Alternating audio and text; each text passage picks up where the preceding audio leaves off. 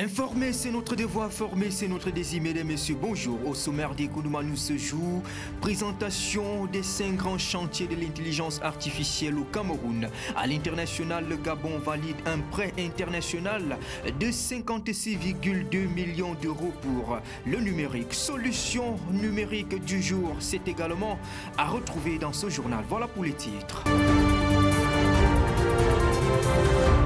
Méned Libom Liliken présente les cinq grands chantiers de l'IA au Cameroun.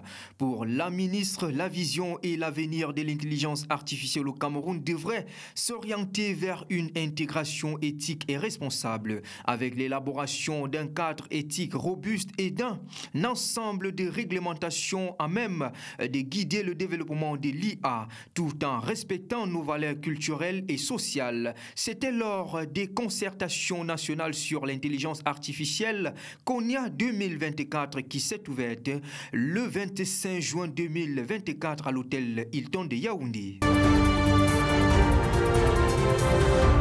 À l'international, le Gabon valide un prêt international de 56,2 millions d'euros pour le numérique.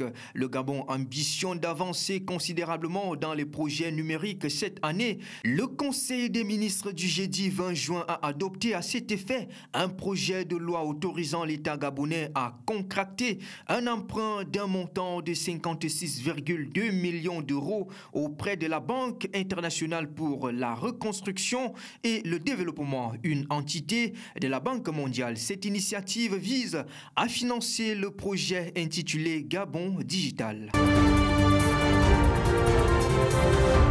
Toujours à l'international financement des startups en Afrique, Briga lance un fonds de 75 millions d'euros pour soutenir des startups africaines en pré-amorçage et en amorçage. Baptisé Briga Africa Seed, ce véhicule d'investissement vise à investir dans les jeunes pousses basés au Nigeria, en Égypte, en Afrique du Sud et au Kenya, mais aussi dans plusieurs pays d'Afrique francophone comme le Maroc le Sénégal, la Côte d'Ivoire et le Cameroun.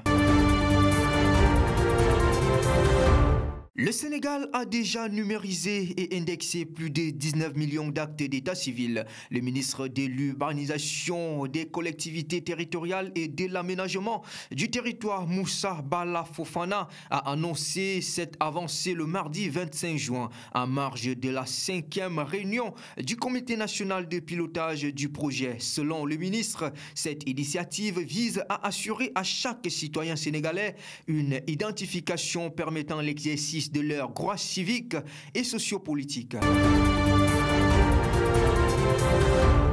Place à la présentation de la solution du jour. UFIP nous intéresse. Créée en 2016, UFIP est une société de services et d'ingénierie informatique basée au Cameroun et en Afrique centrale, spécialisée dans la finance et la technologie dont le siège social se trouve à Yaoundé. Elle offre un service à forte valeur ajoutée impactant les usages financiers actuels. Que ce soit en B2C ou en B2B, des entreprises du secteur financier dont les établissements bancaires et les établissements euh, de microfinance et d'assurance ainsi que les sociétés de transfert d'argent. La FinTech se positionne comme le partenaire technique de toute institution financière mettant en avant la digitalisation de leurs services. Et c'est la fin de ce journal. Mesdames, Messieurs, votre fidélité nous honore. Retrouvez-nous en repli sur l'application Economa disponible gratuitement sur Play Store et App Store.